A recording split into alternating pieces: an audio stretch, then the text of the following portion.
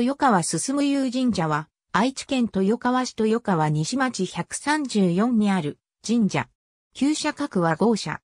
文武天皇の治世である大宝元年、豊川の西岸に、五頭天皇を祀って、雨乞いの祭祀を行ったことが、当社の創始であると伝えられる。村上天皇の治世である天徳元年に現在地に遷宮した。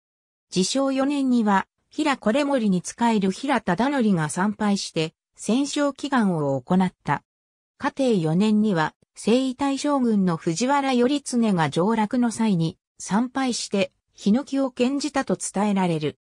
常時2年には、万両親王が参拝した。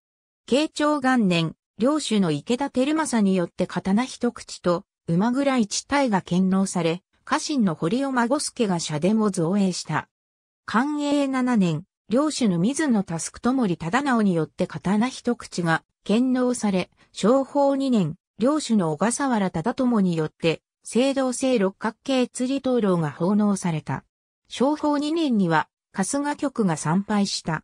享保20年、領主の大岡忠助によって刀一口が献納され、元文5年には釣り灯籠一体が寄進された。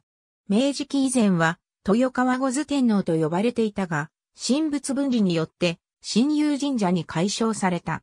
1923年には元宮が本社に合祀され、豊川進友神社に改称された。1965年には愛知県神社庁が指定する4級社に昇格した。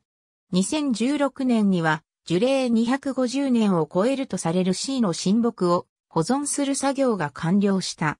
毎年7月20日に近い金曜、土曜、日曜に行われる例大祭は豊川夏祭りと呼ばれる。